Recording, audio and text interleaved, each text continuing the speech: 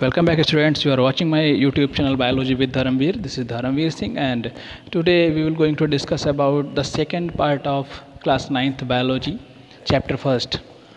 And this video is based on the three topics structure of the plant cell, structure of the animal cell and last one is the structure of cell wall means what is cell wall what the chemical composition of cell wall and what the functions of cell wall तो बेटा यहाँ पे ये तीन topics आज हम discuss करेंगे।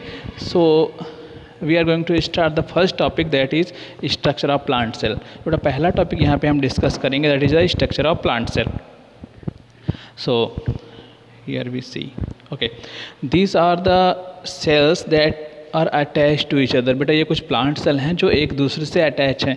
Basics बेटा, क्या है? इसको बनाने के पीछे तो बेसिक रीज़न है, हमारा ये है। How you able to understand जैसे आप सेल देखते हो, अपनी बुक्स के अंदर बनी हुई तो कुछ ऐसे बनी हुई होती हैं। कुछ ऐसे, फिर एक ये लेयर फिर इसके अंदर सेल बनना स्टार्ट होती है। ये तीन लेयर्स जैसे कि आप देख रहे हो, ये। यहाँ पे तीन लेयर्स दिख रही हैं। So this outer layer is the cell wall of another cell जैसे कि यहाँ पे, ये जो आउटर लेयर है, इस सेल का सेल वॉल है। This is called middle lamella this is called middle lamella इसको यहाँ पे एक्सप्लेन करना चाह रहे हैं हम। And this is the cell wall of inner cell ये बेटा एक और दूसरे सेल का सेल वॉल है। तो अगर ये फ़र्स्ट सेल है, ये सेकेंड सेल मान लें इसको तो ये जो दो सेल वॉल दो सेल्स की सेल वॉल को जोड़ने के लिए जो बीच में एक third cell cell third membrane हम देखते हैं that is called as middle lamella क्या होता है बेटा? Middle lamella and middle lamella provide a cementing material for the joining of two cells or the cell wall of two cells the different different cell wall की cell uh, cells की cell wall को जोड़ने का काम होता है that is carried out by the middle lamella और middle lamella बेटा एक सोडियम पेक्टेट और कैल्शियम पेक्टेट नाम का एक सीमेंटिंग मटेरियल प्रोवाइड करता है जिससे ये सेल वॉल आपस में जुड़ी रहती हैं so, जो बेटा, ये स्ट्रक्चर यहाँ पे हम ये स्ट्रक्चर एक्सप्लेन करना चाह रहे थे। जो ये स्ट्रक्चर बना रहता है, बच्चे यहाँ पे थोड़ा कंफ्यूज हो जाते हैं कि यहाँ सेल ऐसी होती होगी। बेटा सेल तो सिर्फ़ इतनी ही है। The basic part is only this लेकिन ये जो दो एक्स्ट्रा आपको यहाँ पे लेयर्स दिखती हैं here one is the middle lamella this this is the middle lamella this is the cell wall of another cell यहाँ पे लिखा ना हमने न्यू सेल ये न्यू सेल की सेल वॉल है। Okay so here I enlarge one cell यहाँ पे हमने एक सेल को इनलार्ज किया है। ये सेल हम जैसे देखेंगे, इस सेल को इनलार्ज किया और इसको हमें कम्प्लीटली एक्सप्लेन करेंगे। What are the basic components that are found inside the cell so cell wall is compose of a cytoplasm बेटा क्या होता है? साइटोप्लाज्म होता है, जो न्यूक्लियर मेम्ब्रेन से ले करके और सेल मेम्ब्रेन के बीच में भरा रहता है। The fluid that is filled from cell membrane to the nuclear membrane वो फ्लूड जो सेल मेम्ब्रेन से लेकर न्यूक्लियर मेम्ब्रेन तक भरा रहता है that is called cytoplasm and the fluid that is filled inside the nucleus बेटा, वो फ्लूड जो न्यूक्लियस के अंदर भरा रहता है it is called nucleoplasm and nucleoplasm plus cytoplasm cumulatively called as protoplasm बेटा, कोई बहुत बार क्वेश्चन आता है what is protoplasm So, what is protoplasm? Protoplasm is nothing.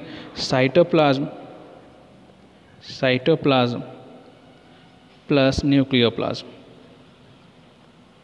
Nucleoplasm is called as protoplasm बेटा जब साइटोप्लाज्म और न्यूक्लियोप्लाज्म को हम एक साथ मिक्स कर देते हैं एक साथ इनका नाम लेते हैं it is called protoplasm protoplasm एक कलेक्टिव टर्म है जो न्यूक्लियोप्लाज्म और साइटोप्लाज्म दोनों के लिए यूज़ किया जाता है okay so here first i am going to discuss about the components of the cell that are found in the cytoplasm बेटा वो सारे सेल के कंपोनेंट दो साइटोप्लाज्म के अंदर मिलते हैं that are called as cell organelles क्या बेटा बोलते हैं cell organelles so these these these these these all these are the cell organelles means either mitochondria chloroplast vacuoles endoplasmic reticulum golgi body lysosome all these are the cell organelles. Okay? Those cell components are found in the cytoplasm are called cell organelles तो बेटा देखते हैं cell organelles का एक definite location होता है cell के अंदर. All the cell organelles have a definite location just like our body ऐसा नहीं बेटा कि फ्लूड में ये भरे हुए हैं और कहीं भी, कोई भी कहीं भी फ्लॉट करके जा सकता है just like in our body the organs, every organ have a definite location. Her organ का एक डेफिनेट लोकेशन होता है, just like in the cell. Every cell organelle have a definite location. And this cell organelle are placed with their location with the help of cytoskeleton. बेटा, इनके अंदर microtubules, actin filament, इनका बना हुआ एक cytoskeleton होता है, जो सेल का स्केलेटन होता है। वो डिफरेंट डिफरेंट सेल ऑर्गेनेलिस को उनके एक स्पेसिफिक लोकेशन पे इंकरेज करके रखता है। देखते हैं बेटा इसके अंदर inside the cell we see in the cell plant cell we see a large cell organelle that is called is vacuole बेटा sometimes its size ranges up to it cover 90% percent part of the whole cell बेटा plant cell का 90% percent part ये cover कर लेता है कभी कभी इतना बड़ा हुआ हो जाता है। And here we see mitochondria this is mitochondria this are some ribosomes lysosomes Golgi body golgi body. This is nucleus. It's nucleus. And inside the nucleus chromatin are present. Inside the nucleus this is chromatin. Inside the nucleus this is chromatin. Chromatin is nothing it is the form of D N A बेटा, क्या होता है? जब D N A किसके form में है? When a in the form of thread that is called as chromatin and when this cell want to be divide जब इस सेल को डिवाइड करना होता है then this chromatin convert in the chromosome जब इस सेल को डिवाइड करना होता है, बेटा तो हमको क्रोमेटिन नहीं दिखेगा, तब क्रोमोसोम दिखेंगे. Plant cell also contain chloroplast in the form of plastids plant cell also have cell wall. This is cell wall. Here cell wall and cell membrane okay so these are the basic components of cell wall that are present on the plant cell membrane जो cell membrane के ऊपर present होती है now we move on the next topic that is structure of animal cell okay बेटा यहाँ पे देखो हमने animal cells के group दिखाए हुए हैं here the basic difference, the first basic difference is that here no middle lamella is present. बेटा यहाँ पे कोई मिडिल लैमला नहीं है. The cell membranes are joint to each other सारी की सारी सेल मेम्ब्रेन आपस में ज्वाइंट करी हुई होती हैं एनिमल सेल के अंदर. And there is no cell wall is present also यहाँ पे बेटा कोई सेल वॉल भी नहीं प्रेजेंट होती है. Because cell wall is only present in plant why because it an adaptation बेटा सेल वॉल एक प्लांट का एडाप्टेशन है because in all extreme conditions either it is harsh warm conditions या तो बेटा बहुत ज़्यादा गर्मी हो आदर बेटी इसके एज विंटर कंडीशन बेटा या तो यहाँ पे बहुत ज़्यादा ठंडी हो, चाहे जितना ज़्यादा पानी गिर रहा हो and every time plants always remains in the open areas plant बेटा ओपन एरियाज़ में रहते हैं and in this open areas cell wall is able to protect them self cell wall ही बेटा इनको प्रोटेक्ट कर पाती है तो बेटा जब उनको रहना पड़ा ऐसे एक्सट्रीम कंडीशंस में तो उन्होंने एक एडाप्टेशन एक सेल वॉल बनाया अपने ऊपर, एक ऐसा लेयर बनाया जो उनको ऐसे हार्म कंडीशन में बचाता था।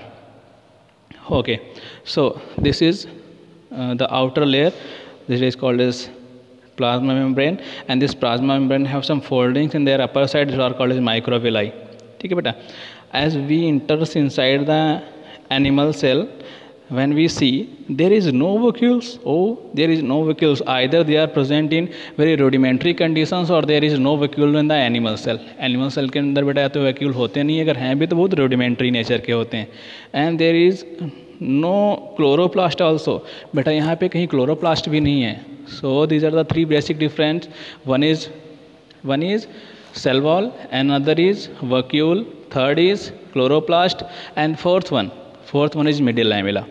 Fourth one is middle lamella. And fifth one is presence of centrosome and centrioles बेटा, यहाँ पे हम देख रहे हैं कि सेंट्रोसोम और सेंट्रियोस प्रेजेंट हैं but such type of cell organelle sent in the case of plant लेकिन प्लांट के केस में बेटा, ऐसे कोई सेल ऑर्गेनेली हमको नहीं दिखे थे। And all the basic cell organelles that are present in the case of animals are just same that are present in the case of plant बेटा बाकी सिला ऑर्गेनिज जैसे प्लांट के केस में present थे, वैसे एनिमल के case में present है like lysosome Golgi body mitochondria rough endoplasmic reticulum and smooth endoplasmic reticulum here I want to explain you what is the basic difference between the rough and smooth endoplasmic reticulum. Because both the endoplasmic reticulums are attached from the outer membrane of the nucleus.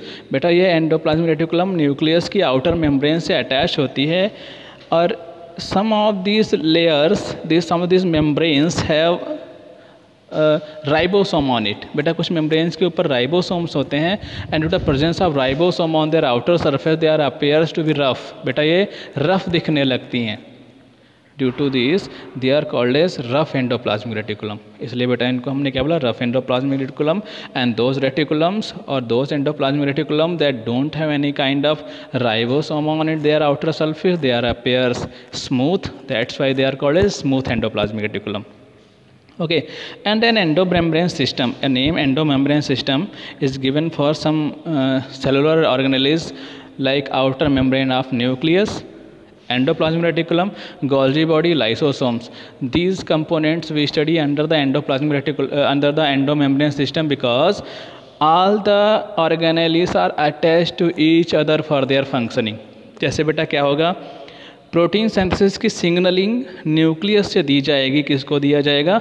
This signalling और the information give to the rough endoplasm reticulum rough endoplasm reticulum protein synthesis करेगा and transfer their proteins to the Golgi body Golgi body बेटा इसकी trafficking करेगा, इसकी sorting करेगा पहले, फिर देखेगा इसको कहाँ पे भेजना है। That's why Golgi body is also called is traffic police of the cell और बेटा जो लेके जाएँगे उनको वेसिकल्स और वैक्यूल्स लेकर के जाएँगे। ठीक बेटा?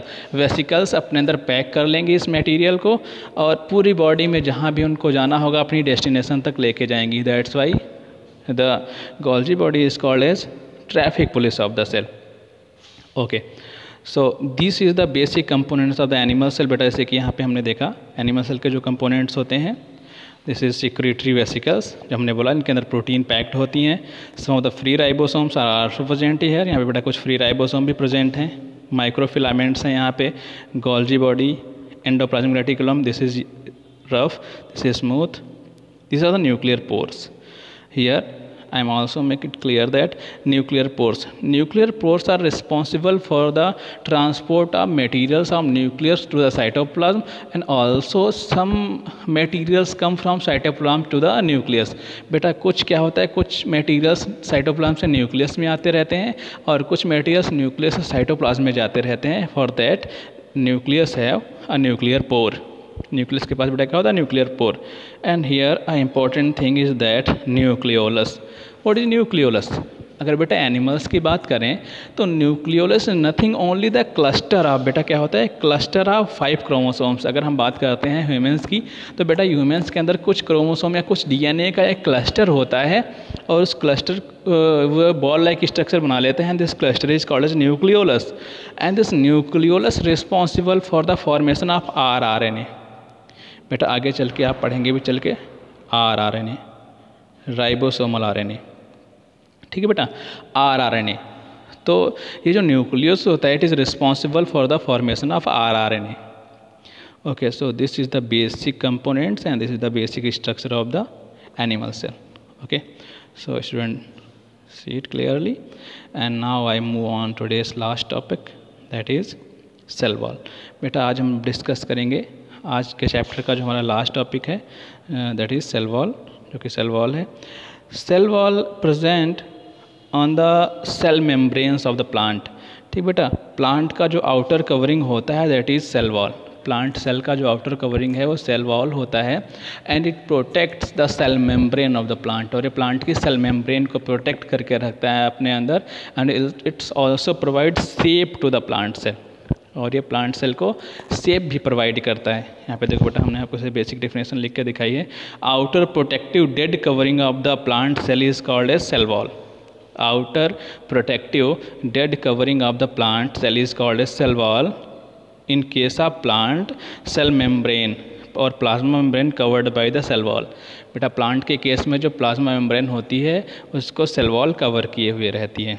Next one is chemical composition of the cell wall what is the chemical composition of the cell wall chemically the different different type of plants have different different type of the cell walls बेटा अलग अलग plants group अलग अलग type की cell wall रखते हैं। जैसे if you discussing about the if you discuss about the land plant बेटा, अगर हम बात करेंगे लैंड प्लांट की और terrestrial plant the plant that we see on the land बेटा जो नॉर्मली हमको दिखते हैं अपने चारों तरफ़ लैंड के ऊपर there are guard terrestrial plant बेटा terrestrial plants the primary membrane of the terrestrial plant और primary cell wall of the terrestrial plant is compose of specialised carbohydrate cellulose hemicellulose and pectin The main carbohydrates that are present or polysaccharides that are present in the cell wall are cellulose, hemicellulose and pectin. These are uh, this uh, cell wall that is present on the plant cell, plant cell membrane is dead.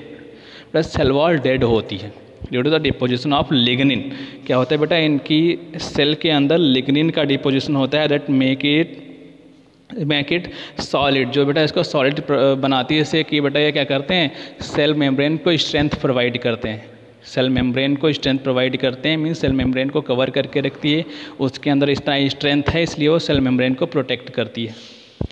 Okay and and means some other chemicals also also in the wall of the plant like chemical uh, like lignins and suberins next one is cell wall of algae.